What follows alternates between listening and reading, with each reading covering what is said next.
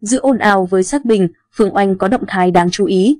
Giữa thời điểm vướng phải ồn ào đời tư, nữ diễn viên phim Quỳnh Búp Bê gửi lời cảm ơn những khán giả đã yêu thương và tin tưởng mình.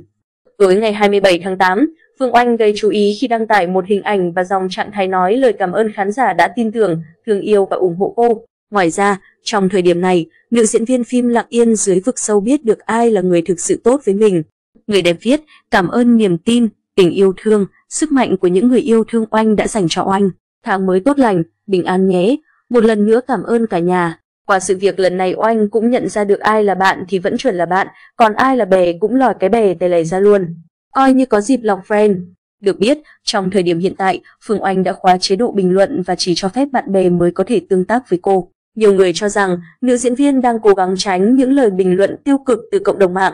Trước đó, những hình ảnh Phương Oanh hẹn hò cùng Sắc Bình thu hút sự chú ý trên mạng xã hội. Sau đó vài giờ, nữ diễn viên 33 tuổi lên tiếng xác nhận cô và vị cá mập đã hẹn hò với nhau được vài tháng và chưa bao giờ giấu giếm chuyện này. Phương Oanh cho biết thêm cả hai quen biết nhau trong một buổi gặp gỡ bạn bè chung. Lúc mới quen, Phương Oanh không biết Sắc Bình là cá mập nổi tiếng. Sắc Bình cũng không biết cô là diễn viên được nhiều người mến mộ. Ngoài ra, Phương Oanh khẳng định khi đến với nhau, cô và Sắc Bình hoàn toàn độc thân.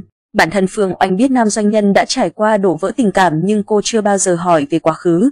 Người đẹp cho biết cô không làm gì sai trái, quất tất nên không có gì phải hổ thẹn. Phương Oanh tên thật là Đỗ Phương Oanh, sinh năm 1989, quê ở Hà Nam. Phương Oanh sở hữu nhan sắc xinh đẹp cùng chiều cao ấn tượng, thân hình gợi cảm. Trước khi trở thành diễn viên truyền hình đình đám như bây giờ, Phương Oanh từng là người mẫu và tham dự một số cuộc thi nhan sắc nhưng không đạt được giải cao.